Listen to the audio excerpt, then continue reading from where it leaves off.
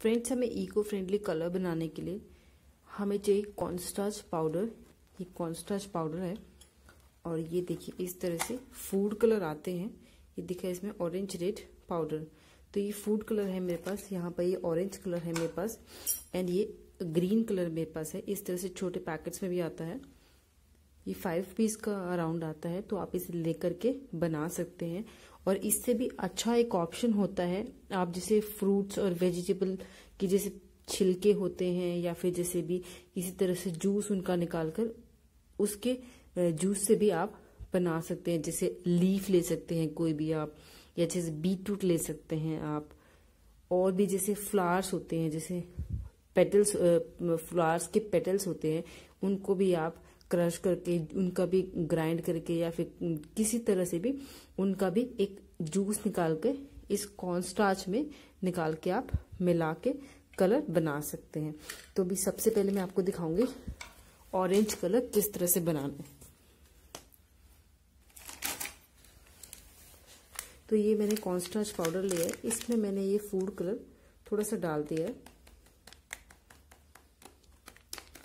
थोड़ा सा इसमें हल्का सा मैंने ज़्यादा डाला बिकॉज़ क्योंकि जब ये हल्का सा ड्राई होता है तो ये थोड़ा सा या तो आप इस तरह से भी कर सकते हैं कि पानी में आ, कलर को डाल के उसके बाद आप कर सकते हैं। उसके बाद मैंने क्या किया है थोड़ा सा स्प्रे बॉटल से क्योंकि इसमें ज़्यादा हमें पानी की ज़रूरत नहीं है। इतना ही है हमें इसको मिक्स करना है। इस तरह से आप इसको अच्छे से मिक्स कर लें। पानी बहुत ही कम डालें इसके अंदर।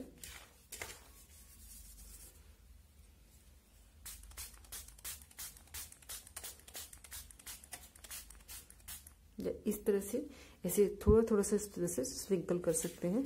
ये इस तरह से।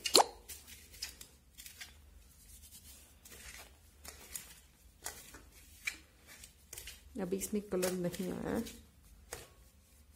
थोड़ा सा जितना आप इसको मसलते जाएँगे, उस तरह से इसका कलर आता जाएगा। इस तरह से इसका कलर आ जाएगा प्रॉपरली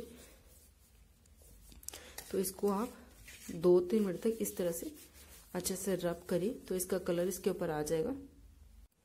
ये देखिए, इसको रब करने के बाद इस तरह से इसका कलर आ गया और इसको आप इसको आधे से एक घंटा आप हल्का सा धूप में ना रखें छाए में रखें, थोड़ी हल्की हवा इसको लगाएँ तो एक घंटे में आपका बिल्कुल रेडी हो गया। एक मिनट मुझे इसको मैक्सिमम रब करने में लगा तो एक मिनट रब करने के बाद आपका कलर रेडी हो गया।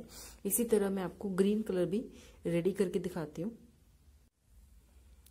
सेम ग्रीन कलर बनाने के लिए भी हमने ये कॉन्स्टाच पाउडर मैं ले लेती हूँ टू स्पून उसके बाद सेम ये फ़ूड कलर है इसको मैं थोड़ा सा सीमेंट ऐड कर देती हूँ। आप चाहे तो इसको कलर को बॉटल में डालने के बाद आप कॉन्स्टाच में ऐड कर सकते हैं। ये अच्छे से आप मिक्स कर लें इसको इस तरह से।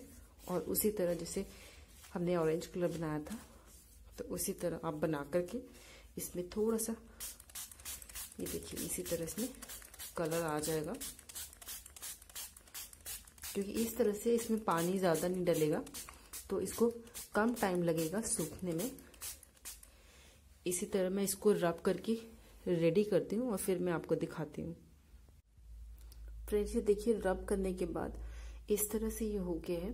तो मोस्टली रेडी हो गया है। आप इसको थोड़ी सी एयर लगाएँगे, थोड़ी सी हवा लगाएँगे, धूप में मत रखिए, क्योंकि इसका कलर उड़ सकता है और मोस्टली उड़ ही जाता है, ज़्यादा धूप में लगाएँगे। हल्की सी हवा में, छाए में रखिए अब इसको तो आधे घंटे में ये रेडी हो जाएँगे आपके होली खेलने के लिए।